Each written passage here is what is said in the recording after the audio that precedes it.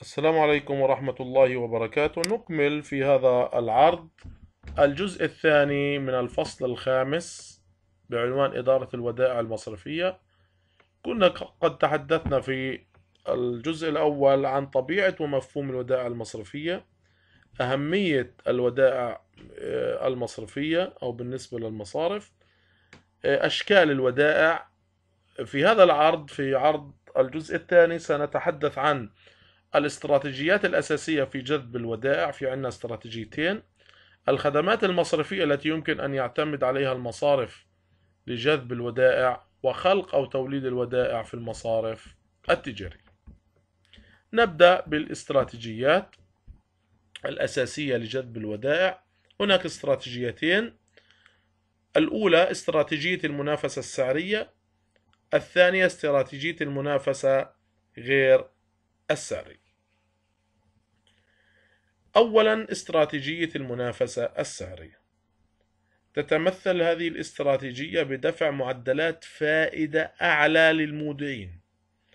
وعلى الرغم من أهمية هذه الاستراتيجية ليس في النشاط المصرفي فحسب وإنما في معظم مجالات النشاط الاقتصادي إلا أن بعض التشريعات المصرفية لا تسمح بدفع الفوائد على الودائع الجارية الأمر الذي يقلل من دور هذه الاستراتيجية في جذب الودائع ومن أهم أسباب عدم دفع الودائع على الودائع على الفوائد على الودائع الجارية ما يأتي.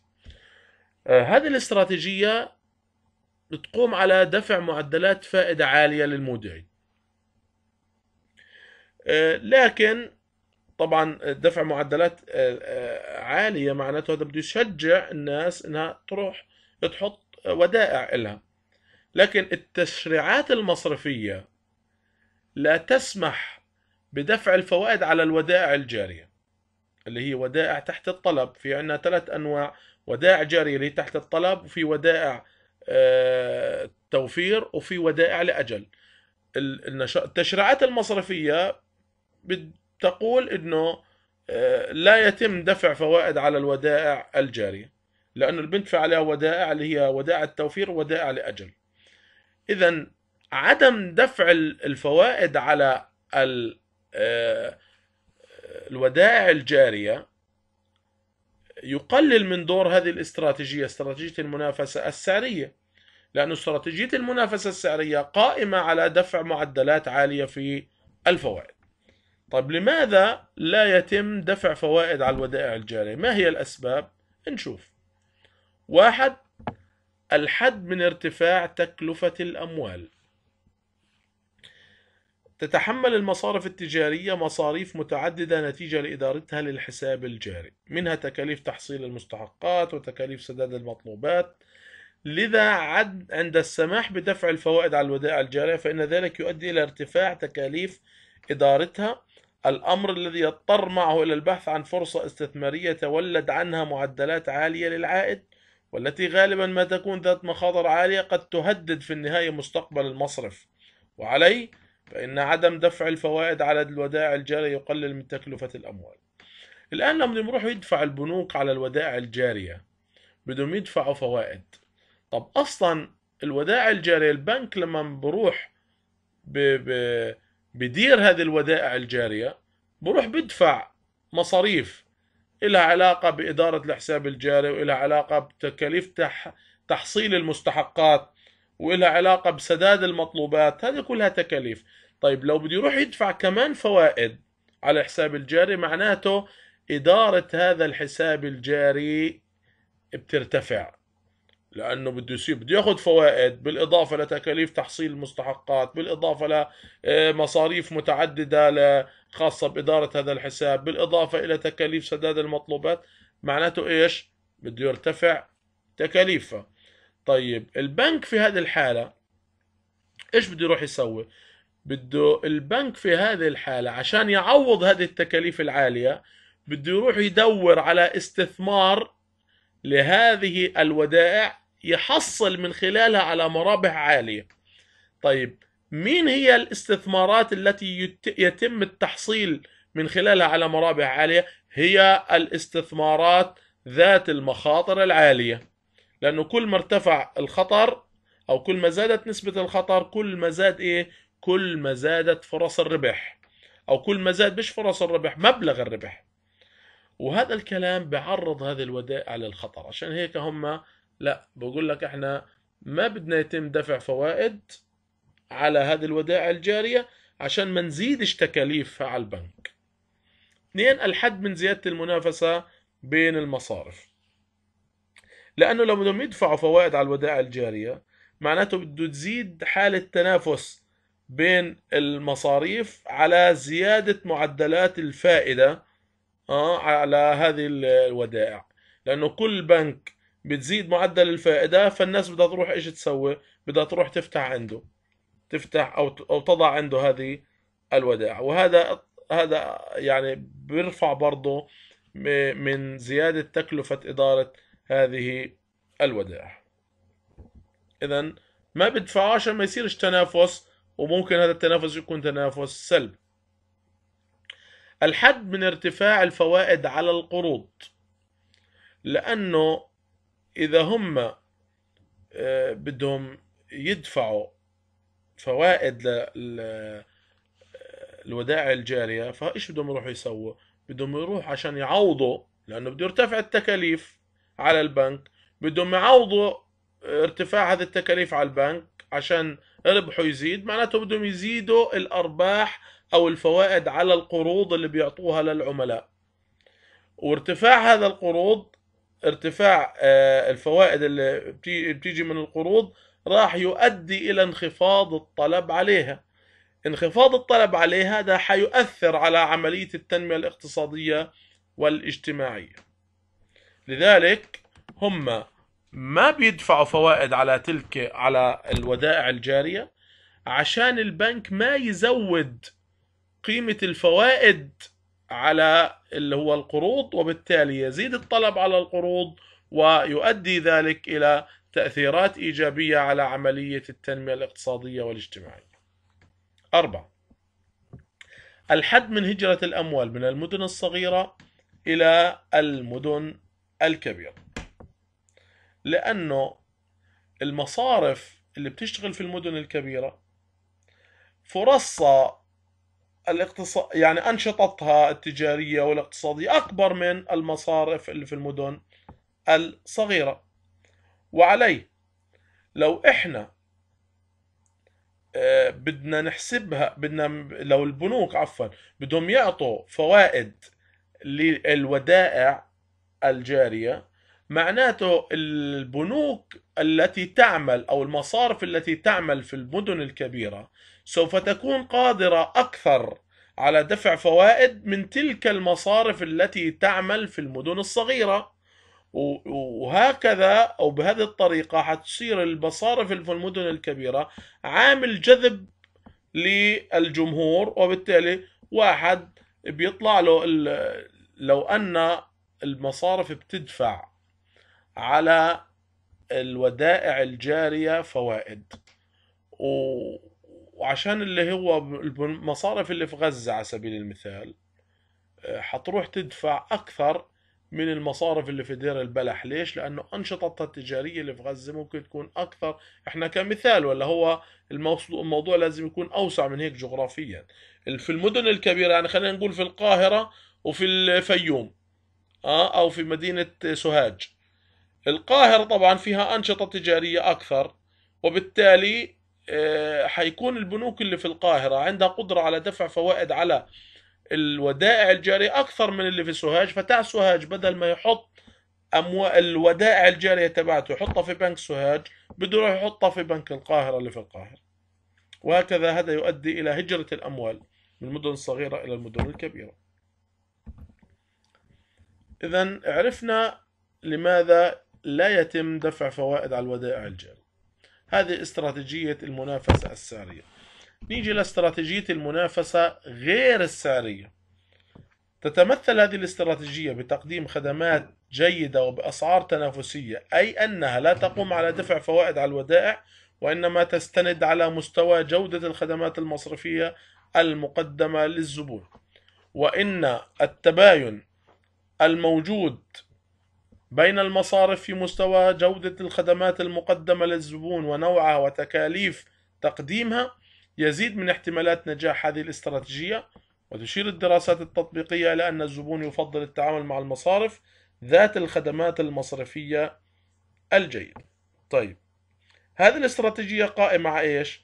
إحنا قلنا في استراتيجية المنافسة السعرية هذيك قائمة على إنه يتم دفع فوائد على ال ال الودائع. لكن هذه فشلت أو قلل أو قل دورها لأنه في الودائع الجارية بندفعش عليها. وأغلب الودائع على فكرة هي من نوع الودائع الجاريه طب في استراتيجية ثانية استراتيجية المنافسة غير السعرية. ماش علاقة بالفائدة. ها إيش العلاقة؟ لها علاقة بالخدمات المصرفية. آه، بروح البنوك أو المصارف بتقدم خدمات مصرفية للمودعين وهذه الخدمات بتروح بتجذب المودعين بترغبهم في إنه يحط في هذا البنك لأنه خدماته أكثر من البنك الثاني أو المصرف الثاني طب بدنا نشوف إيش أهم الخدمات اللي ممكن البنك أو المصرف بيعتمد عليه عشان يجذب اللي هو المودعين. واحد تحصيل مستحقات المودعين. كيف يعني تحصيل مستحقات المودعين المصرف يستطيع تحصيل مستحقات المودعين دون الحاجة إلى استخدام النقود عن طريق إجراء المقاصة بينه وبين المصارف الأخرى التي عليها التزامات تجاه زبون المصرف المعني. ونظرا لتباين المصارف في سرعة تحصيل الصكوك وفي مقدار ما يتحمله الزبائن من تكاليف تحصيل الصكوك ووسائل السداد الأخرى فإن المصرف الذي يتميز بسرعة عملية تحصيل المستحقات للزبائن وتقليل التكاليف التي يتحملها الزبائن يكون أكثر من غيره على قدرة على جذب الودائع. إحنا بنعرف إنه بتصير مقاصة بين المصارف. مقاصة بين المصارف يعني على سبيل المثال آه، ممكن آه، أنا معي آه، شيك لكن هذا الشيك أنا عميل في بنك القاهرة. عفوا في بنك فلسطين وهذا الشيك يتم تحصيله من بنك الإسلام الفلسطيني. فبروح بودي الشيك أنا للبنك تبعي اللي هو بنك فلسطين. آه، شيك بقيمة 2000 شيكل أو 3000 شيكل. بتصير المقاصة بيجلسوا البنوك أو مناديب البنوك كلهم مع بعض.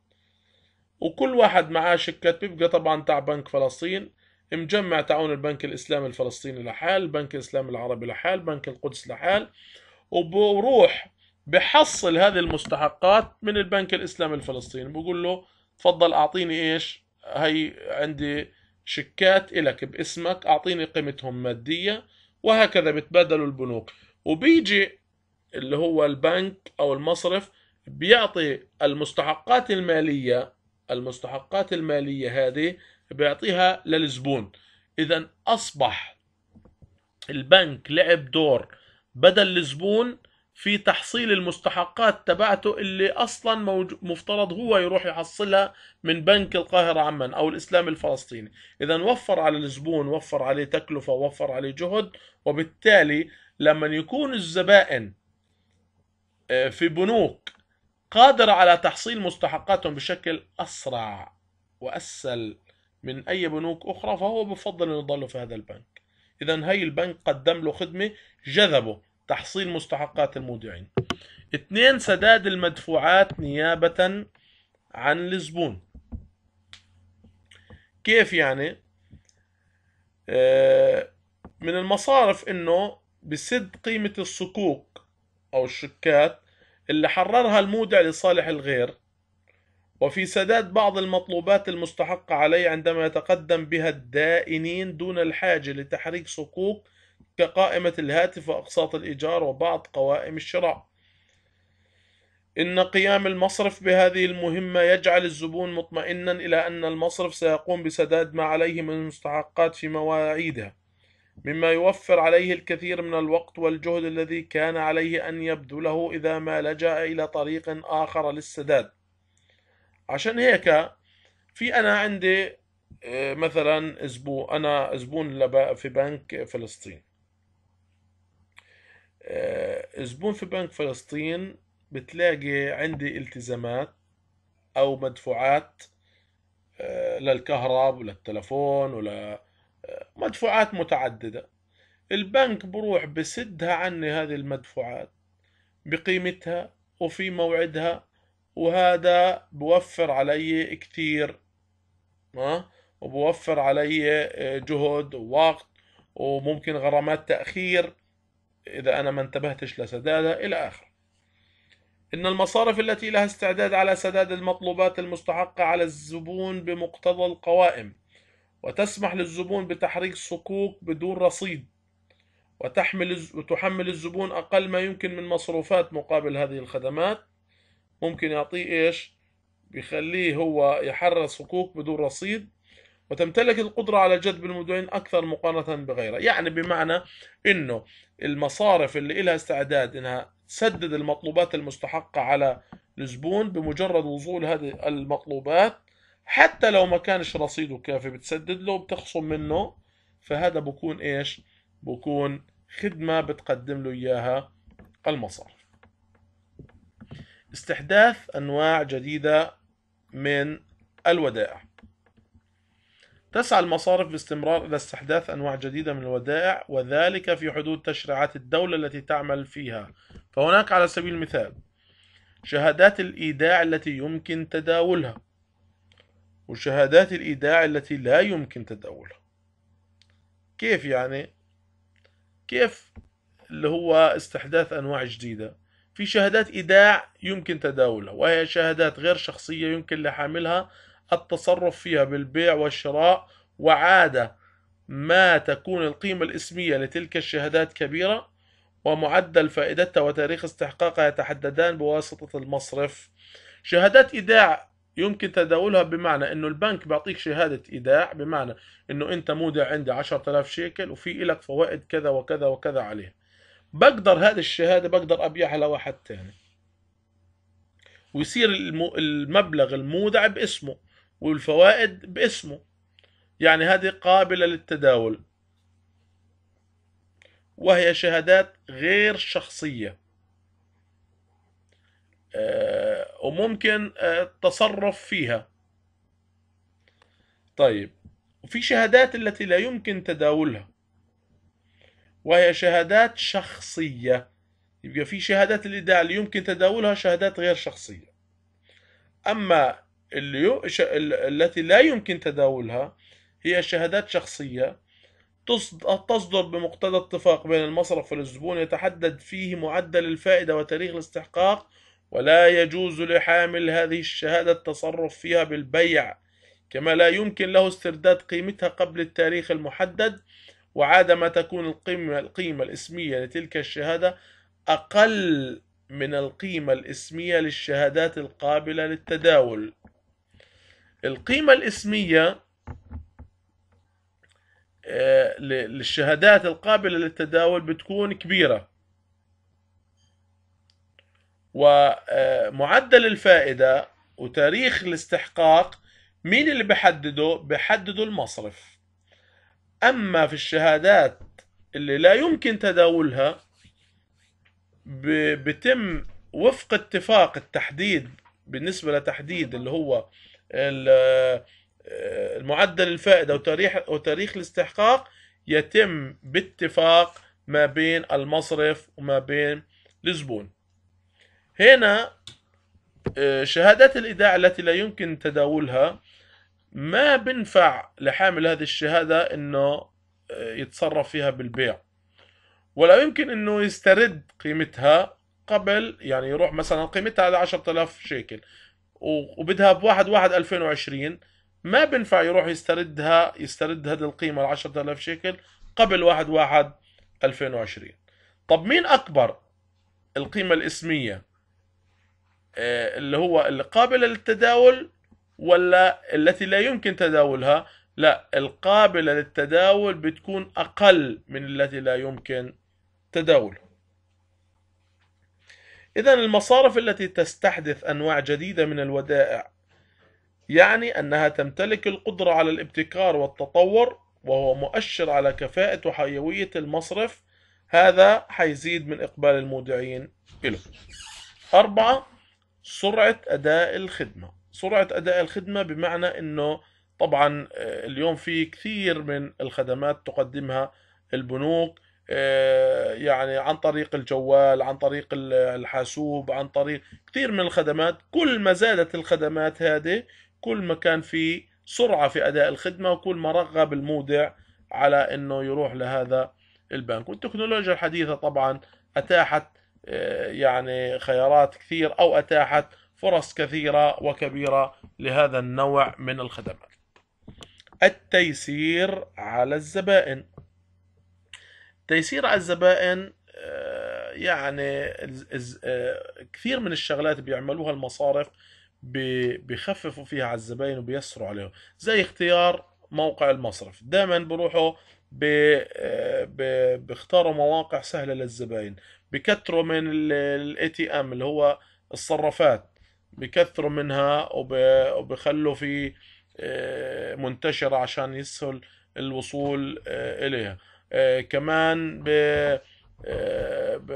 يعني في عنده سحب وإيداع يستطيع أن يقوم بذاته عن طريق الآلات. أيضا ممكن يعطوه بطاقات يروح يشتري فيها أغراض اللي هو ال Easy Life وغيرها. أو ال Visa card ويصدروا له شغلات يسروا فيها على الزبون كثير من الشغل الأشياء التي ترغبه في آه، التعامل مع هذا المصرف.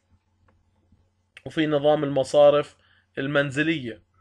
إذا في كثير من الخدمات أو من التيسيرات بوفروا له إياها. أيضا في خدمات تفضيلية للزبائن. يعني آه، ممكن بعض المصارف تعطي أفضلية لزبائنها في العديد من الخدمات زي إعطائهم الأسبقية في الإقراض أو إقراضهم بمعدلات منخفضة. يعني بيعطيه مثلا بيقول له والله بدي ونص في المية فيما إنه بنك آخر بيقول له آه، خمسة في المية أو ستة في المية أو أو إلى آخره. آه، ممكن يروح إذا هو تاجر ممكن يعمل له دعاية لبضاعته. بيعلن له عن بضاعة بقدم له خدمات يعني ممكن آه، تعرض بعض آه، سلع المودعين. ممكن بعض المصارف يعني بعض المصارف اليوم بروح تتعامل مع آه، شركات شركات أثاث أو شركات أجهزة كهربية. وأنا العميل عند البنك أستطيع أنه أشتري إيش ما بدي من هذه الأجهزة أو هذا الأثاث والبنك بيقوم بالتسديد الآلي عبر دفعات متفق عليها بيني وبين البنك. إذا هذه كلها خدمات يقدمها البنك وهي تؤثر في يعني عملية الجذب. نيجي نشوف العوامل المؤثرة على جذب الودائع إن شاء الله س يعني آه، نأخذ هذه العوامل التي تؤثر على جذب الودائع في عرض قادم إن شاء الله.